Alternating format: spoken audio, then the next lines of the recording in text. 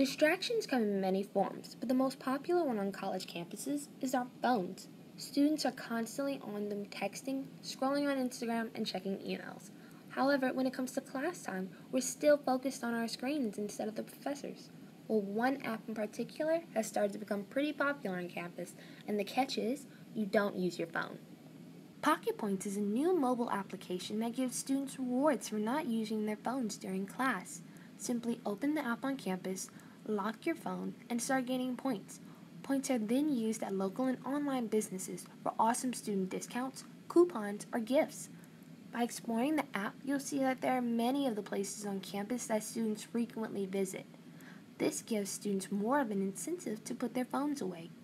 There's even a leaderboard to show if any of your friends use the app and how many points they've gained. Once students open the Pocket Points app and lock their phone, they start to accumulate points. The longer their phone stays locked, the more points they can get.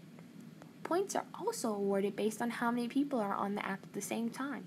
You can download it from the App Store or the Google Play Store. The app is free and only works on campus, so make sure your Wi Fi is on to get an accurate location. This app will not only keep you from being distracted in class and benefit your wallet, but I'm pretty sure your professors will appreciate you for focusing on them.